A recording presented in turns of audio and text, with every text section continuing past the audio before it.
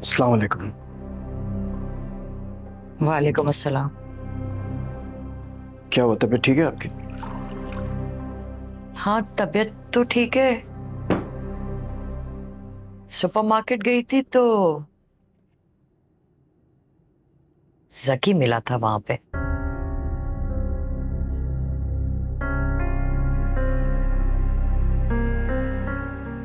फिर?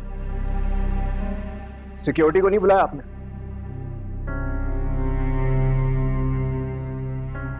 निगत निगत। निखत को क्यों बुला रहे कमाल करती हैं आप। मतलब मैं लोगों की बकवास सुन सुन के थक गया हूँ। और आप है कि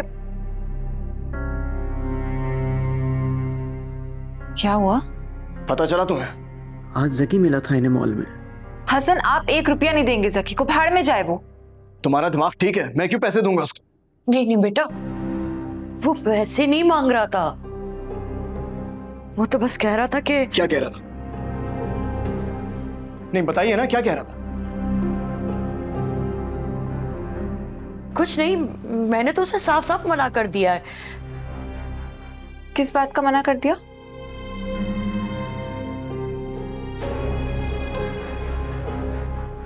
वो जकी ने ना मुझे अजमिया की डायरी पढ़वाई थी।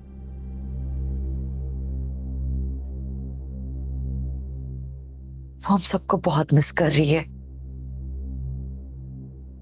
अपने किए पे बहुत पछता रही है वो। वापस आना चाहती है। तो जकी कह रहा था कि आप उसे ले आए। अच्छा। तो फिर क्या सोचा आपने? मैंने तो साफ़ मना कर दिया। लेकिन मैं सोची थी एक कि मिनट। अपनी सोच को यहीं रोक लीजिए आप।